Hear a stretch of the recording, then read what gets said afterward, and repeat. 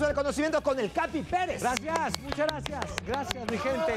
Mi Capi, todo tiene un porqué. Así es. ¿Me ayudas con la primera? Sí. Echa la pantalla, La por primera favor. es, ¿por qué los magos dicen abracadabra? Mira, ahí tienes una varita, mi Capi, ¿Por tienes un sombrerito. Los magos dicen abracadabra. Abracadabra. Me suena como algo que viene, tiene que ver con una cabra, algo satánico, Serge. Mira, podría ser algo satánico o algo que tiene que ver con espíritus. Sí. Son palabras mágicas que en realidad vienen de, sí, alejar espíritus o enfermedades incluso. Ok. Y viene del hebreo. Tengo un gráfico que en la pantalla dice así. Échalo, por favor. Abre adabra. ah. Envía tu fuego hasta la muerte. Ah, caray, ¿eso Así es. dice? Eso dice. O sea, no está tan lindo, la verdad. Esa es una versión. No está tan inocente. Tampoco. No. Ahora, Abracadabra también dicen fue un ídolo de Siria que curaba ciertas enfermedades y al repetir su nombre, Abracadabra, Abracadabra, Abracadabra, se iba la enfermedad. Ay, no me duele la panza. muy ¿Eh? bien, ¿Qué ¿no? tal? ¿Lo sabes? Muy bien. y por último, están los que afirman que viene de Abraxas, que es una palabra que designan, eh, les llaman los gnósticos, el curso del sol y representa a Dios Todopoderoso. Me quedo con la de el dios abracadabra, abracadabra, abracadabra. Abracadabra y nos sentimos mejor. Sí. Segunda la pantalla, por favor. ¿Por qué la bandera de meta es cuadriculada en blanco y negro? Esta es la, la bandera de meta que se usa en el automovilismo, por ejemplo. correcto. ¿no? O sea, cuando llega Verstappen, Ahí está. Cuando llega él nada más. es porque- nada más, ¿eh? Ahora, es blanco y negro. Sí. Tienes una pista atrás de ti. Atrás de ti, exactamente. No, atrás de ti en tu espalda. es negro. Ah. Eh, Hay una eh, pista. ¿Esto? El mantel. Ah. ¿Por qué? ¿Por qué será? No sé, Serge. Bueno, dice, una de las teorías sostiene que la bandera procede de las primeras competencias Ah, de ciclismo o de caballos. Ah, se Pero- utilizaba un mantel. Exacto. Ah. Mientras estaban, digamos que sentados en el pasto o, o haciendo la comida, se agitaban estos eh, manteles de cuadriculados y entonces empezó, bueno, para celebrar el triunfo y de ahí, es una teoría, llegamos a la bandera cuadros. Ok, ok, ¿Eh? ok. es Está una- bonita. Yo pensé que tenía que ver algo con que es más evidente, no sé, una, una- un Igual y viaje, puede ser. Un ¿no? viaje mío. Y Muy la bien. última en pantalla, aquí está. ¿Por qué se inventaron los zapatos con tacones? Esos son muy altos además, Capi. Estos sí, ¿eh? Cuidado, Es aguas más, ahí. eh, antiguamente entre más altos, más estatus. Los dejaron en mi, en mi coche.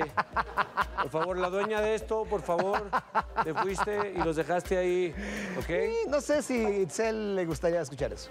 No, no, no, no, ese fue una... ¿Por qué, mi Capi? Eh, yo creo que fue para, digamos, cuestiones de utilidad, para llegar a cierto punto, a lo mejor, no sé. De utilidad sí, pero no llegar a cierto punto. Entonces, El primer estilo conocido tacones se remonta hasta el siglo X, muchísimo tiempo. Los soldados que montaban a caballo usaban tacones para asegurar los pies en el estribo.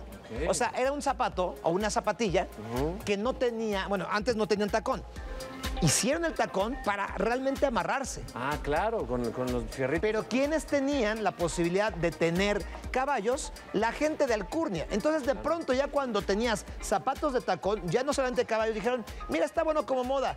Y le empezaron a aumentar el tacón, y entre más alto era el tacón, más eh, estatus tenías. Totalmente. Y los, y los usaban los hombres.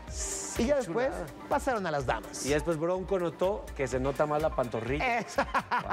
Muy bien, todo tiene un porqué. Gracias, mi capi. Gracias, mi search. ¿Eh?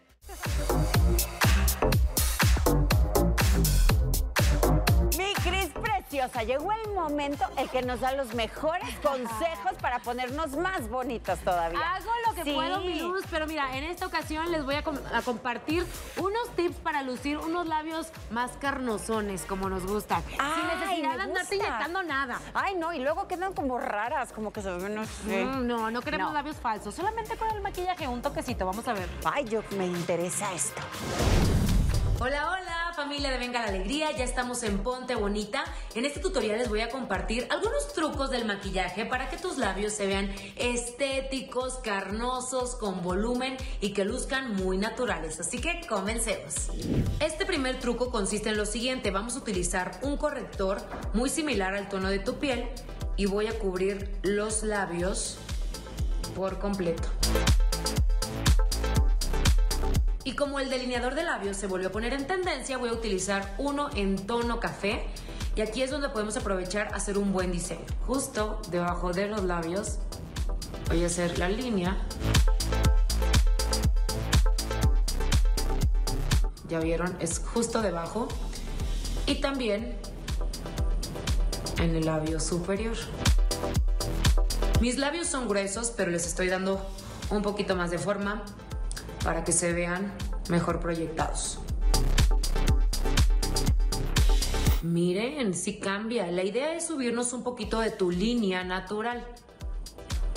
Y lo siguiente, después de haber hecho el diseño, voy a rellenar los labios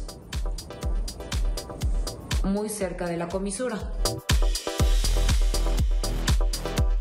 Dejamos como un poquito limpio la parte del centro porque después voy a utilizar un labial mate en un tono más claro.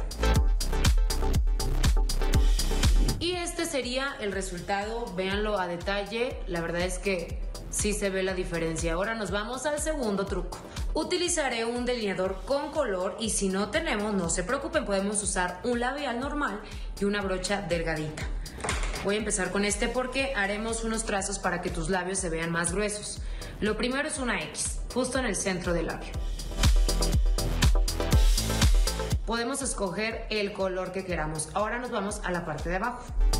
Ahora lo voy a intentar con la brocha y voy a marcar justo debajo del labio una línea.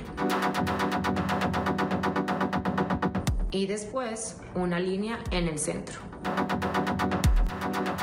Tomamos como referencia este punto. Con el mismo delineador rellené justo la parte del centro del labio superior. Ahora voy a utilizar un labial un poco más claro que el delineador Y así es como quedarían después de rellenar con el labial y eliminar todas las líneas. Ahora nos vamos al siguiente truco. Después de delinearnos, ponernos el labial, el que va a hacer la diferencia es el corrector que utilizamos para la ojera. Voy a aplicarlo con una brochita y con unos golpecitos justo en el centro del labio, en la parte de abajo y en la parte de arriba. Y vean ustedes, con ese toquecito de luz cambiamos por completo la perspectiva de los labios. Y bueno, ahora veamos el último truco. Como soy muy fan del labial rojo, no lo podía dejar a un lado. Aquí lo vamos a aplicar de forma normal. Después de rellenar con el labial rojo, voy a utilizar un corrector un poquito más claro y vamos a contornear todos los labios.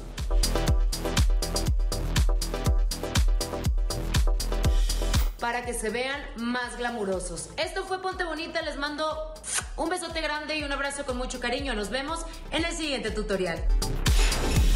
Ay, ¿qué tal? A mí me encantó, Cris, porque mira, sí, tú eres bocona, pero es un hecho que para que se vean mucho más, tengan esa presencia, el brillo que le pones y ese delineador por fuera, que de repente nos da un poquito de miedo, se ve súper bonito. Si tienen el labio delgadito, es mucho más sencillo que abusen un poco más de esa línea.